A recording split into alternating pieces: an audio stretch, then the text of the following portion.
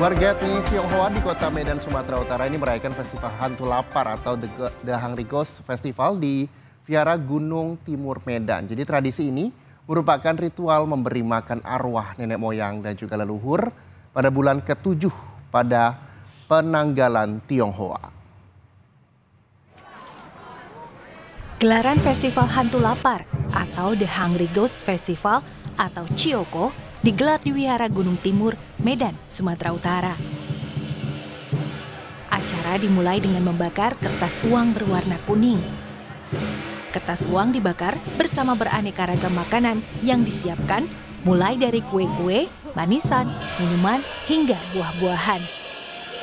Ada juga aneka replika barang-barang, serta rumah dari kertas disiapkan untuk roh para leluhur. Menurut kepercayaan masyarakat Tionghoa, pada bulan ketujuh penanggalan Tionghoa, jiwa seseorang yang telah meninggal akan datang ke bumi. Untuk menghormati jiwa mereka, anak cucu dan kerabat mengadakan festival dan sembahyang. Kegiatan itu merayakan buat leluhur kita gitu, nah, sama anak yang keguguran kita, jadi kita ibaratnya berdoa buat dia gitu. Ini eh, apa sih namanya kegiatannya?